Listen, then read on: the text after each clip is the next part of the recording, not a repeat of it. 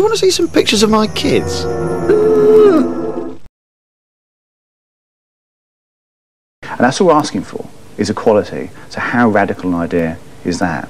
Fathers 4 Justice say this is just the beginning. They're planning a national campaign of civil disruption to draw attention to what they claim is the erosion of their rights as fathers.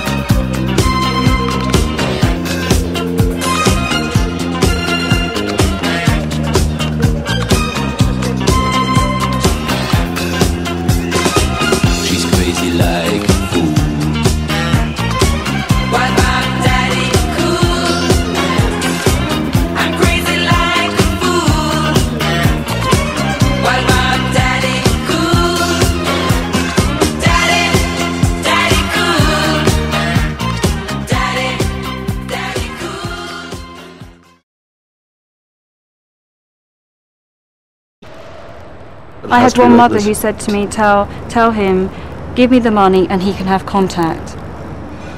I mean, you're in front of this woman who's saying he can see the kids if he gives me money. Hmm. I mean, do you not just go, you fucking bitch?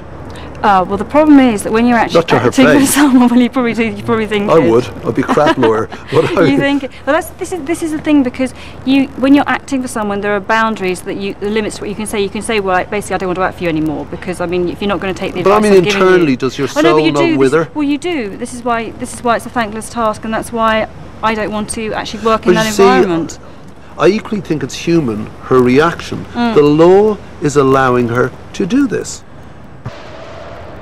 The argument that you're incapable of bringing up a child because you're male, because you've got testosterone, I kind of hope it's, that's gone away because observationally it clearly isn't true anymore. But it lingers on in the family courts. And it baffles me, but, you know, fortunately I'm not a lawyer. You wrote, when it comes to understanding the conduct and character of men when compared to women, vulgar supposition is easier than objective measurement.